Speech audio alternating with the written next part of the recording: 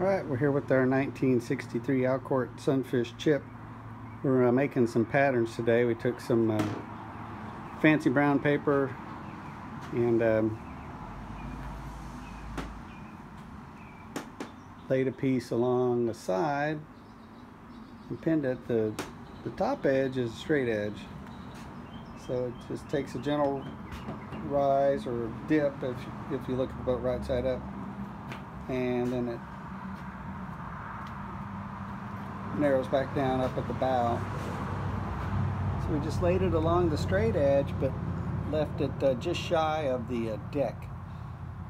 And then we took a uh, X-Acto knife and just trimmed along the edge all the way down. And what this will give us is a uh, is a pattern where we could rough out the side of the boat. If we do that, we'd want to leave it just a little bit proud. You could cut it leave it straight along this edge. But we'd cut, we'd leave just a little extra here so you can get it and uh, make it a nice uh, fair curve. Of course you could do that before you put it on the boat. Just get uh, both of them all faired up even and make the cuts and get them both uh, looking the same and then you can do the beveling. Speaking of beveling, I'll make a note on the pattern that um, where these frames come down, this, this inner edge of the plank is higher than the outer edge because the bevel's uh, going down that way. So I'll just make a note to cut it to eighth of an inch or so proud. And that way we'll have room to uh, shave that bevel. If we were to cut it only the depth is inner edge, that surface would be flat. And when the plank, plank came down an angle, uh, you wouldn't have uh, surfaces to match up. We have a pattern for the uh, bottom panels, fore and aft. And we, on those we marked, so we have a little template. They'll show us where the uh, stringers are underneath. So when we get the new panels on, we can just lay this over the top of it. Drill some holes for some number 8 by 3 quarter inch screws.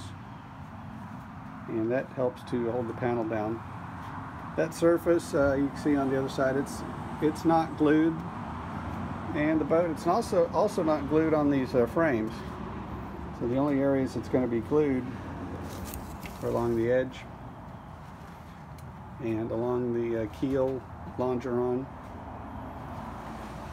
and then we get back to the cockpit it will be glued and screwed along this fore and aft cockpit uh, panel and then back on the stern. So that's um, it's one of the reasons we kind of liked uh, when we sanded all the paint off a zip, we could see where all the fasteners were, like on the on the side and on the deck, and we can get some pictures and notes of that. And then a spoiler alert, we're probably going to take uh, zip back to the original red color with uh, the mahogany coaming and the mahogany uh, side trim. It's got two good coats of um, West Systems epoxy with special clear hardener. So now that it's got that base coat, we're uh, thinking about going back to red. So the skipper can uh, warn everyone way in advance when she's out on the water. We'll also mark where the uh, little frames are at, just kind of as a reference. But we'll certainly need to mark where they're at back here because this is only a little uh, half inch thick piece of plywood, so there's nails here. Gonna go down, so we'll piece the paper and mark it with the with our little sharpie so that we know where to uh, put the uh, nails in that'll actually go into that uh, bulkhead. To trace the um, bottom panels, we just use the old bottom panels now we're going to see if we can get a piece uh, out of those big enough to make the floorboards for chip. So hope y'all are doing great and we'll check in again with you soon.